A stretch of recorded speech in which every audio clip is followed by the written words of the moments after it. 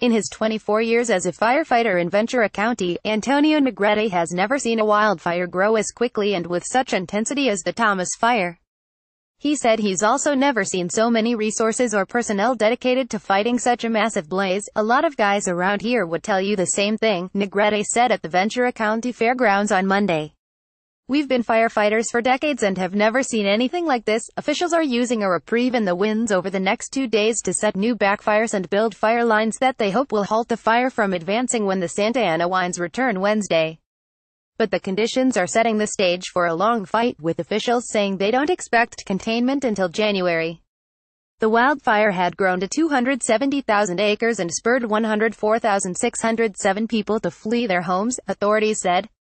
More than 8,500 firefighters have battled the blaze, one of the largest mobilization of crews to fight any wildfire in California history. The firefight has cost $130 million. It's now the third largest fire in California history. In his 28-year career as a firefighter, Capt. Rick Crawford with the Los Angeles Fire Department said he's battled extreme fires. That the Thomas Fire stands out as one of the, if not the, fiercest wildfire he's encountered. It took the Zaca Fire in 2007 eight weeks to consume over 240,000 acres.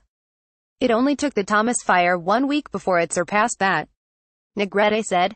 I've never been part of a brush fire like this in December. Negrete had also been fighting wildfires in Northern California in October. He didn't think he'd see those firefighters so soon. I told them I'd see them next year. I didn't think I'd be seeing them in two months. Negrete said, just because you don't see the flames doesn't mean there's no threat, Crawford added. We might be at a lull but that doesn't mean we should be complacent. One surprising aspect that he said separates the Thomas fire from others is how the red flag conditions have lasted for two weeks. Usually Santa Ana winds last two days. Having 14 days of erratic winds is unprecedented, he said. Caption caption caption caption caption Melissa Melissa.Etehad at latimes.com Twitter at Melissa Etehad Wildfires Los Angeles Fire Department